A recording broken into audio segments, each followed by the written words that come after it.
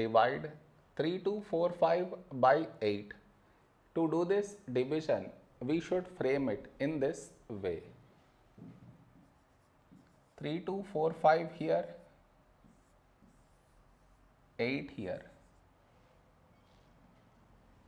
This is your step 1. Next.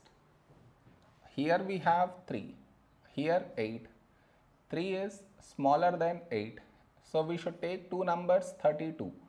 When do we get 32 in 8 table? 8 fours 32. Now we should subtract. We get 0.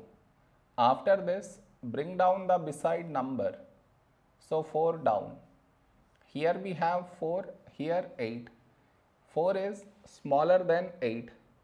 So we should bring down the second number. And the rule to bring down second number is put 0 here. Then only we can bring down this number. So 45. A number close to 45 in 8 table is 8 fives 40.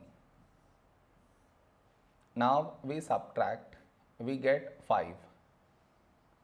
No more numbers to bring it down. So we stop here. This is our remainder, this is our quotient.